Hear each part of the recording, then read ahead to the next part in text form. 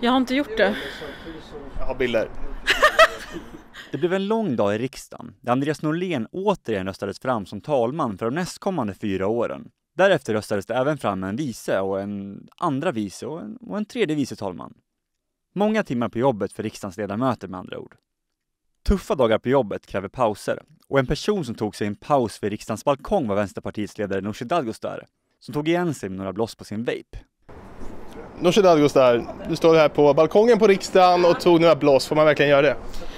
Jag har inte gjort det. Jag har bilder. Det är vattenånga.